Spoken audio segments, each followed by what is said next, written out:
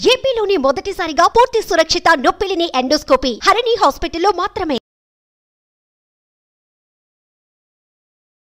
నమస్కారం పట్టినారు సాయిరామ్. చాలా మంది అండి అంటే ఇంట్లో ఒక్కొక్కరిది ఒక్కొక్క రీతిలో సేవింగ్స్ స్టార్ట్ చేస్తూ ఉంటారు. అయితే ఎక్కువగా మనం చూస్తూ ఉంటాము తెలియకుండానే దుబారా అయిపోతుంది వేస్టేజ్ ఎక్కువ అవుతుంది అని చెప్పేసి అంటుంటుంది ఏ పరంగా చూసుకున్నా కూడా. అయితే కొన్ని కొన్ని విషయాలు మనం చూసేటప్పుడు బయట నుంచి కానివ్వండి లోపల నుంచి చూసేటప్పుడు కానివ్వండి తెలియకుండా ఒక ఎనర్జీ ఆ వేస్టేజ్ మొత్తాన్ని బయటికి తీసుకెళ్ళేలా చేస్తుంది అని చెప్పేసి అంటూ ఉంటారు. అది అకార్డింగ్ టు స్పిరిచువల్ నాలెడ్జ్ చెప్పండి ఎటువంటి జాగ్రత్తలు పాటించాలి అటువంటి విషయాల్లో? ఏ విధంగా ముందుకెళ్ళాల్సినటువంటి అవసరం ఉందంటారు? ఎవరికైనా సరే ఒక వ్యర్థం ఇంట్లో ఒక వ్యర్థం జరుగుతుంది అంటే దానికి అనేక కారణాలు ఉంటాయి. జస్ట్ ఒక్క కారణమే ఉండదు.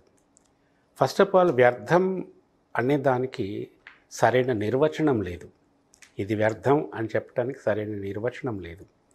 ఓన్లీ ప్రయారిటీస్ని బట్టి వ్యర్థమా కాదా అన్నది డిసైడ్ చేస్తారు తప్ప వ్యర్థం అన్నదానికి దేర్ ఇస్ నో డెఫినేషన్ ఎందుకంటే ఒకరికి వ్యర్థమైంది ఇంకొకరికి ఎక్కడో పనికి వస్తుంది దట్ ఆ టాపిక్ అంతా మనం ఇన్ డెప్త్ డిస్కస్ చేయొచ్చు. ఇంటికి సంబంధించినంత వరకు ఇంట్లో అంత సాధారణంగా బాగానే ఉండి హఠాత్తుగా డబ్బు ఖర్చు అయిపోవటం అనుకున్న దానికంటే ఎక్కువ ఖర్చు అయిపోవటం లేకపోతే రాబడి తగ్గటం లేదా యాక్సిడెంటల్ ఎక్స్పెండిచర్స్ రావటం అనుకోకుండా గబుక్కునంటే యాక్సిడెంటల్ అంటే అనుకోకుండా వచ్చే ఎక్స్పెన్సెస్. మూడవది అనుకోకుండా హెల్త్ చెడిపోయినప్పుడు దానికి ఖర్చు పెట్టవలసి రావటం. ఇవన్నీ కూడా అన్ఎక్స్పెక్టెడ్ ఎక్స్పెండిచర్స్ కిందకి వస్తాయి అయితే అన్ఎక్స్పెక్టెడ్ ఎక్స్పెండిచర్స్ చేయటానికి కూడా డబ్బులు ఉండాలి?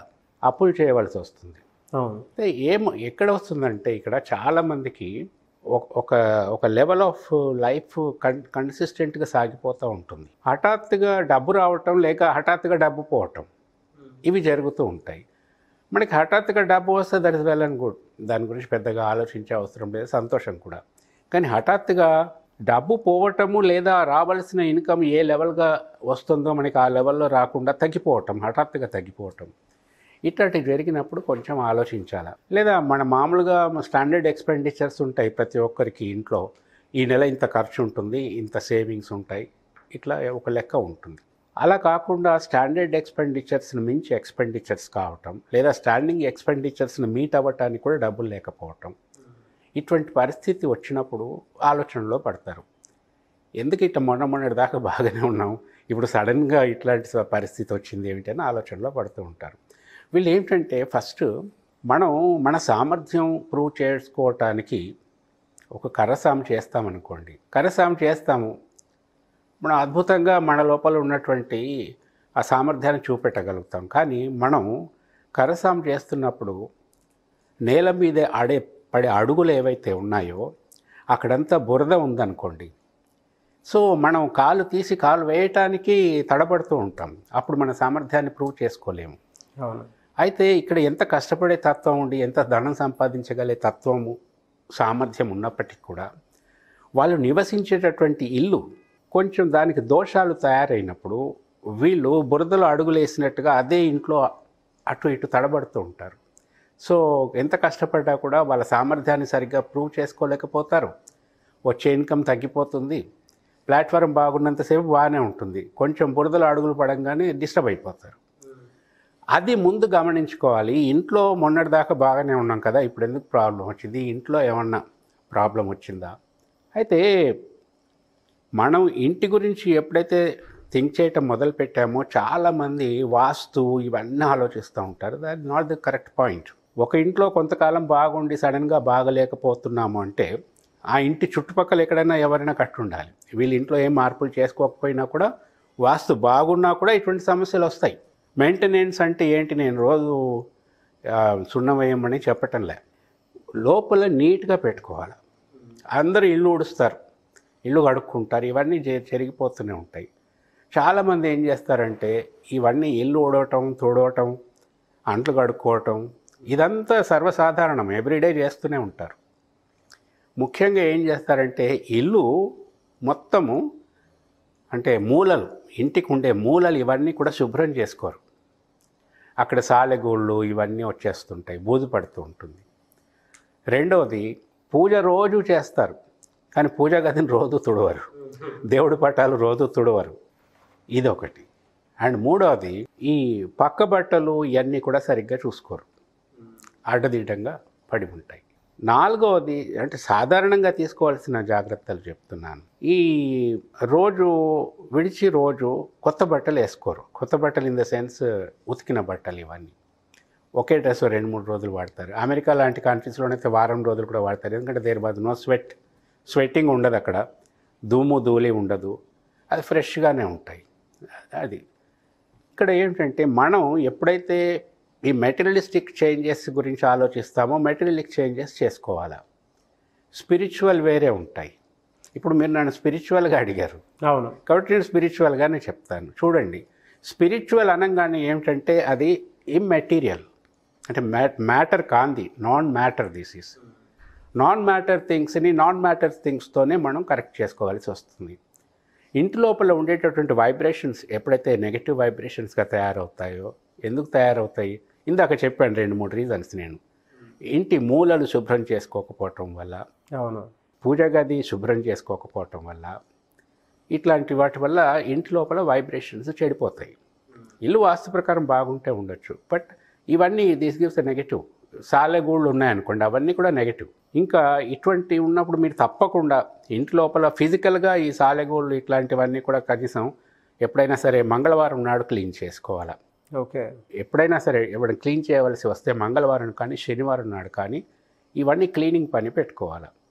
ఇంకా స్పిరిచువల్ ఇదంటారా? ఇంటి లోపల ఈ వైబ్రేషన్స్ ఏవైతే ఉన్నాయో స్పిరిచువల్ వైబ్రేషన్ అని మనం ఏదైతే అంటామో మనం స్పిరిచువల్గా చేసేటటువంటి జపతపాల మీద ఆధారపడి ఉంటుంది.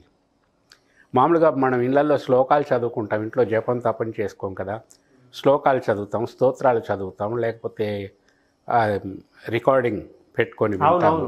చాలా మంది చదవటం రాదు చాలా పొడుగ్గా ఉంటాయి కాబట్టి అది పెడతారు అవి వాటి పాట అవి పాడుతూ ఉంటాయి వీళ్ళ పని వీళ్ళు చేసుకుంటూ ఉంటారు. అవి కూడా వైబ్రేషన్ జనరేటర్స్ కానీ మనం ఉచ్చరించినందువల్ల వచ్చే వైబ్రేషన్స్ చాలా ఉత్తమం. ఎందుకంటే మనం ఉచ్చరించినప్పుడు మన క పెదవుల కదలికల వలన నాలుక ఉచ్చారణ వలన వచ్చేటటువంటి శబ్దంలో ఉండేటటువంటి వైబ్రేషన్స్ చాలా పవర్ఫుల్ అట్లాంటి వైబ్రేషన్స్ మనం టేప్లో వినటం వల్ల రావు. ఇవి భౌతికంగా వస్తాయి వైబ్రేషన్స్ మనం చేయగలిగినంత చేసుకోవటం. అందరికీ శ్లోకాలు రావు అందరూ స్తోత్రాలు శ్లోకాలు ఇవన్నీ పాడే పరిస్థితిలో ఉండరు. జపం చేసుకునే పరిస్థితిలో ఉండరు. అటువంటిప్పుడు అన్నిటికంటే చాలా సులభమైన విషయం ఏమిటంటే మీరు వీలైనంత మెటీరియలిస్టిక్గా చేయవలసినంత మెయింటెనెన్స్ సాలెగుళ్ళు తీసేయటం ఫ్లోర్ క్లీన్ చేసుకోవటం గోడలు క్లీన్ చేసుకోవటం కనీసం పదిహేను రోజులకు ఒకసారి పెట్టుకొని మీరు ప్రతి మంగళవారం కానీ అమావాస్య నాడు కానీ సాయంత్రం ఎనిమిది గంటలకి చీకటి పడ్డ తర్వాత మంచి సాంబ్రాణి ధూపం తీసుకొని నిప్పుల మీద వేయాల. చాలామంది ఈ మధ్య ధూపాలు వేయగానే ధూప్ స్టిక్స్ తీసుకొచ్చి వెలిగించి అదే ధూపం అని ఇస్తారు అది కరెక్ట్ కాదు. నిప్పులు తయారు చేయాలి.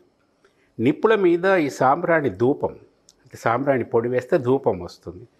ఆ పొడిని వేసి ధూపము ఇంటి లోపల ప్రతి గదిలో చూపెట్టాలి including toilets bathrooms store rooms అంతటా.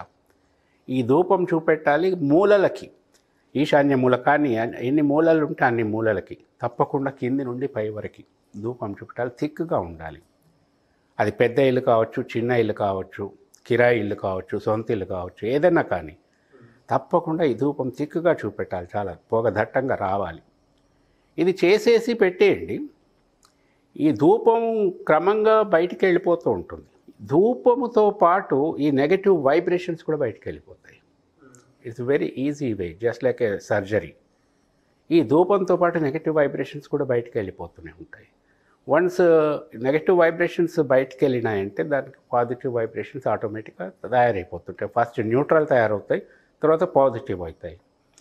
ఇది ఏమిటంటే అసలు ఏమి మనం స్తోత్ర పారాయణాలు ఇట్లాంటివి ఏమి చేయకుండా మనకి అసలు ఈ నాలెడ్జ్ కూడా ఏమీ లేకుండా ఇంటిని మెయింటైన్ చేయటంలో ఇది అద్భుతమైనటువంటి ఒక ప్రక్రియ. ఎవరైనా చేయవచ్చు ఎప్పుడైనా చేయొచ్చు. కానీ తిది ముఖ్యం. మంగళవారం నాడు కానీ అమావాస్య నాడు కానీ ఇది డే డే టైంలో చేసేది కాదు. Only night after eight o'clock అంటే ఎయిట్ ఎయిట్ థర్టీ ఆ మధ్యలో. ఈ వైబ్రేషన్స్కి స్పిరిచువల్ అంటే స్పిరిచువల్ అంటేనే వైబ్రేషన్స్కి రిలేటెడ్ ఈ వైబ్రేషన్స్ యాంటీ వైబ్రేషన్స్ అన్నీ ఈ ధూపంతో పాటు బయటికి వెళ్ళిపోతాయి.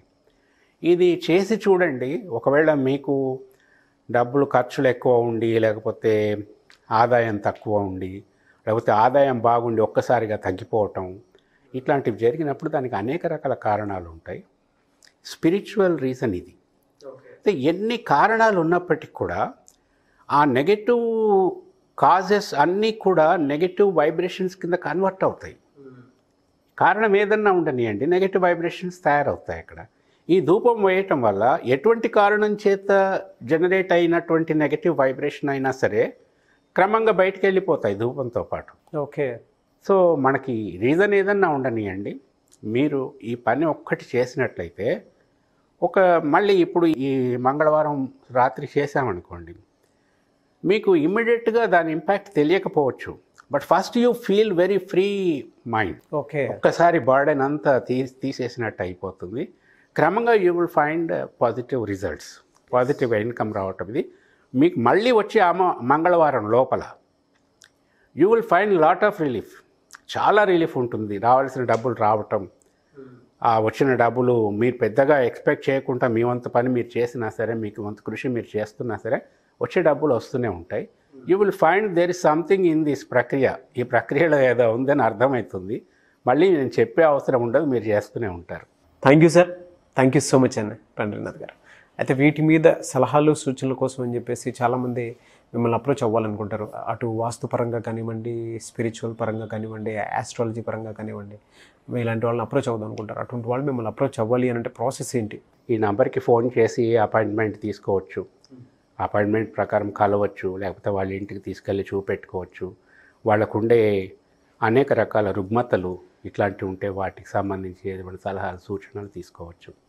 ఆన్లైన్ సెషన్స్ ఏమైనా కావాలి అనుకున్నా కూడా ఆన్లైన్ కూడా they can contact no problem thank you sir thank you so much అండి చూసారు కదండి వీడియో? ఈ వీడియోపై మీ అభిప్రాయం కమెంట్ బాక్స్లో పోస్ట్ చేయండి. ముఖ్యంగా మీరు కనుక పండ్రీనాథ్ గారిదే ఆన్లైన్ ఆఫ్లైన్ సెషన్స్ కావాలి అనుకున్నా లేదంటే మీకు ఏదైనా డౌట్స్ సలహాలు సూచనల కోసం ఉన్నా సరే అండ్ వాస్తు ప్రకారం డైరెక్ట్ విజిట్ మీరు కావాలి అనుకునేటువంటి వాళ్ళైనా సరే స్క్రీన్ మీద మీకు కాంటాక్ట్ నెంబర్ కనిపిస్తుంది. దానికి మీరు కాల్ చేయొచ్చు మెసేజ్ పెట్టవచ్చు వాట్సాప్ చేయొచ్చు.